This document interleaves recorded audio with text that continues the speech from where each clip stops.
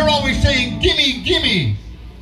So we are doing two songs in a row that include the word gimme in the title. We just did Gimme, Gimme Some Lovin'.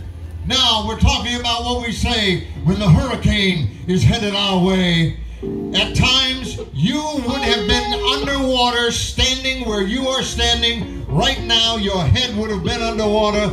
And so the next time it happens, you're going to be saying, Gimme shelter!